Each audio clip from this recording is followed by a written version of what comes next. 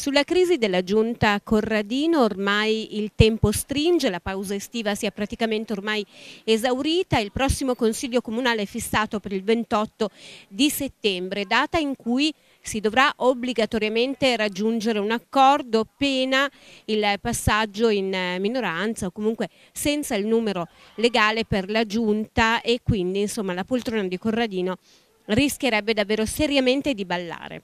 Diversi gli scenari che si sono ipotizzati eh, fin dall'inizio di questa crisi, inizialmente eh, sembrava che Fratelli d'Italia eh, puntasse a tre nuovi nomi, poi insomma, eh, sembrava bastasse l'ingresso di Davide Zappalà, ora inizia a eh, proiettarsi uno scenario eh, più concreto.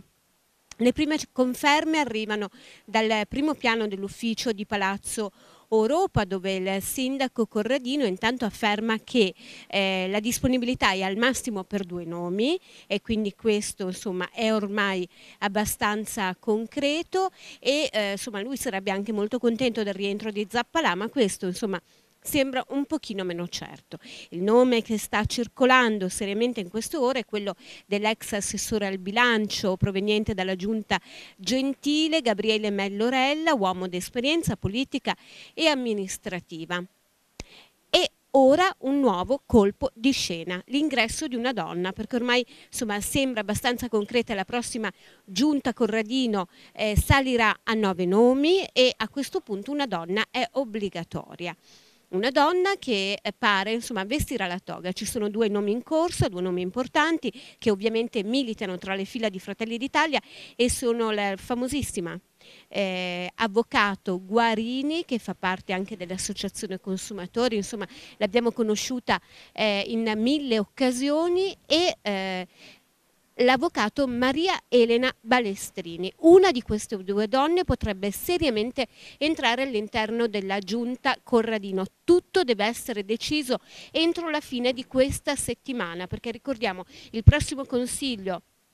momento in cui ovviamente si votano i vari provvedimenti e la Giunta Corradino deve obbligatoriamente avere la maggioranza dei voti, è fissato per il 28 di ottobre, quindi Giunta 9 e l'ingresso a sorpresa oltre a Mellorella di una donna. Nel frattempo però prende la parola anche il segretario della Lega Cittadina e consigliere regionale Michele Mosca. Il braccio di ferro di fatto continua perché non più tardi di ieri la Lega ha avanzato due proposte a Fratelli d'Italia, due diverse proposte di accordo mantenendo però la giunta a sette nomi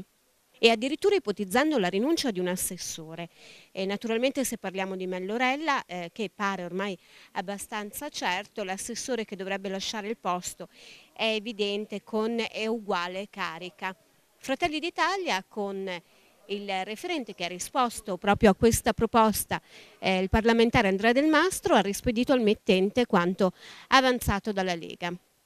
Chiaro però, continua eh, il consigliere regionale Michele Mosca, che nel momento in cui la Giunta dovesse arrivare a 9 Fratelli d'Italia se ne dovrebbe assumere l'intera eh, responsabilità. I nomi delle due donne stanno circolando in modo insistente e insomma nelle prossime ore, entro la fine di questa settimana, quindi la decisione.